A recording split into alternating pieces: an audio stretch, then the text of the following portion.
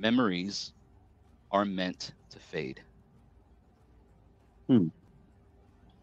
And I got to thinking these me- like memories, right?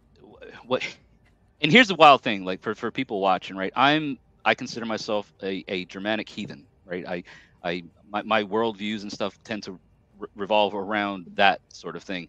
Sid is what he is. Papa is what he is. Ulf, I mean, he, yes, we are tribal brothers. We we we adopt a, a tribal view of, of things when we do our things, but he does his his hearth cult is his hearth cult, right? All of us are individuals.